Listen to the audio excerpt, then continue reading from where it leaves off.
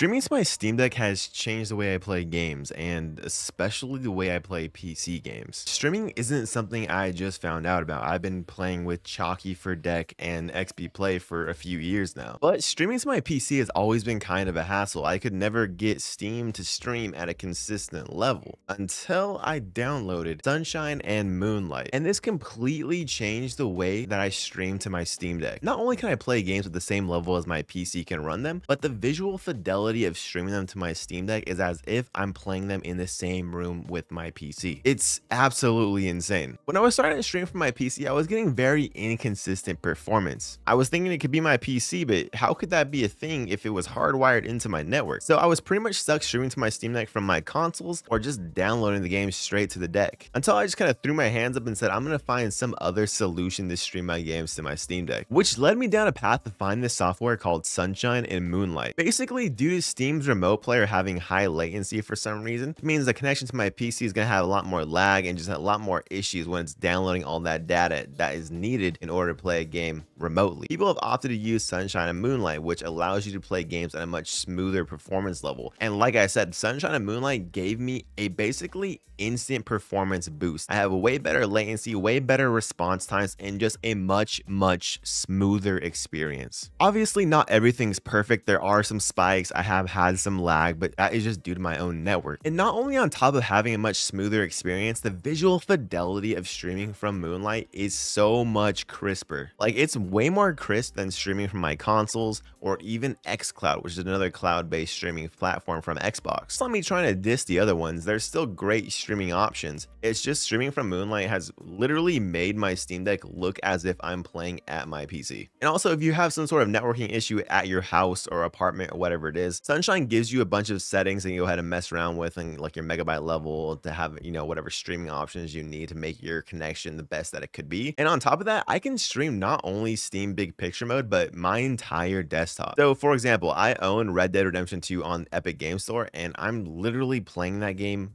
on Moonlight right now. And when you open up the desktop option, it even gives you like a mouse and keyboard support. Eh, you kind of have to mess around with your Steam Deck settings, but it's it's doable. It's good. I'm just trying to shout out Sunshine and Moonlight in case anyone's having any streaming issues. Like I was streaming directly from Steam, my PC to my Steam Deck. These options literally cleared it up as soon as I was done downloading. Also want to mention this software works with both AMD and NVIDIA cards. So whatever setup you're running, you should be good to go. And like I mentioned previously, maybe you're someone who not only has a Steam Deck, but maybe you own one of the two, three, four, whatever, however many consoles there are, then streaming your games from whatever console you have is pretty easy to get set up. If you're someone who owns an Xbox console, you can go ahead and just purchase XBPlay on the Steam store. This app basically allows you to play your Xbox directly to your Steam Deck. Not only that, but it allows you to remote play through your console. So if you just want to play directly from your Xbox to your Steam Deck and whatever games you own, you can do that too. I was literally playing like Metaphor ReFantazio the other day. It looked phenomenal. Another cool thing about XBPlay is that you can go into the settings and mess around with like what console you want to stream from. So let's say you own an Xbox Series S and X. One's in the living room, one's in the bedroom. You're hanging out in the bedroom, you go ahead and switch the console you're streaming from. You have a better connection directly to whatever console is in that bedroom at the time. And like I said, you don't even just have to play games that are on your console. You'll have full access to Game Pass if you are subscribed to that service and you go ahead and stream whatever games are cloud enabled. Another cool thing about Xbox is like if there's some games like Assassin's Creed Mirage, for example, where they already are enabling cloud play anywhere. So basically you have this copy, you go ahead and stream it directly to your Steam Deck, your phone, whatever it is. You never need to install it. You never need to actually remote into your console. It's just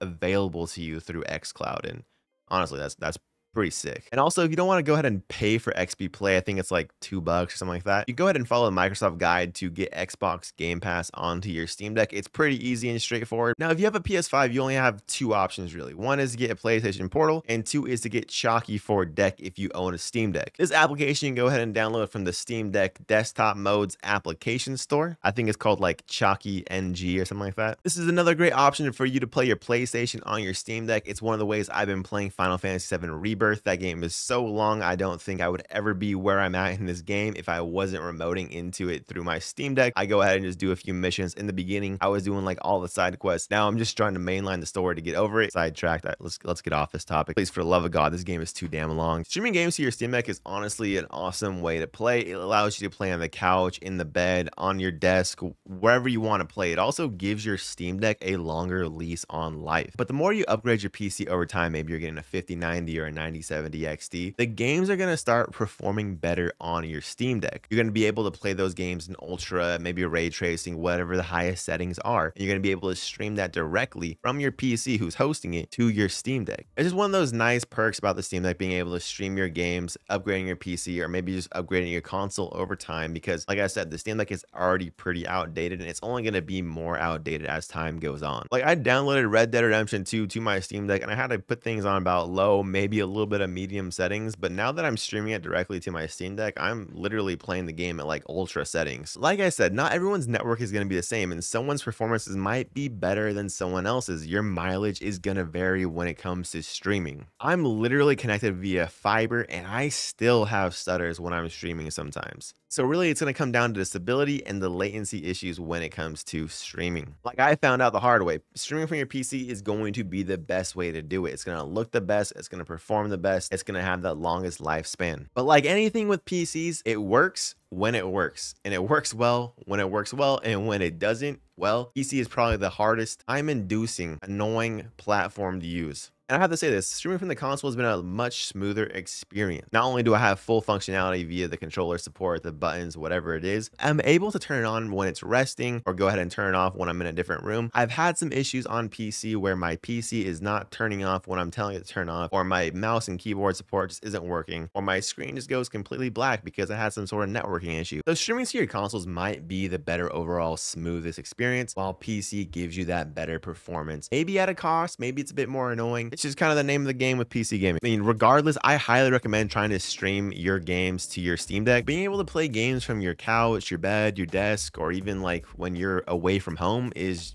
pretty awesome and something I think everyone can enjoy.